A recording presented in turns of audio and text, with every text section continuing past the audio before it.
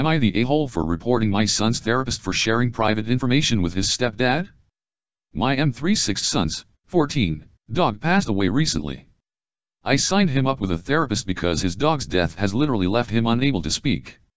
He's been in therapy for two weeks now. Two days ago, my son called crying saying his stepdad punished him by taking his bicycle and selling it for no reason. I was livid.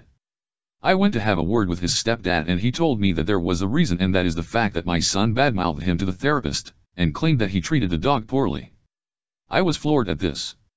I had an argument with him and asked how the hell he knew and told him to prove that my son said all that. He showed me texts between him and my son's therapist. So basically, the therapist had been giving out private info about a bunch of stuff my son talked about in therapy. I was even more floored. I went straight to that therapist and we had a huge argument. I told him I was going to report him after he defended himself saying the reason he gave my son's stepdad this info was because of concern as a parent.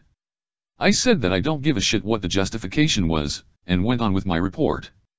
He tried to talk about how he felt for my son's stepdad and his concerns as a parent so he didn't think he did anything wrong.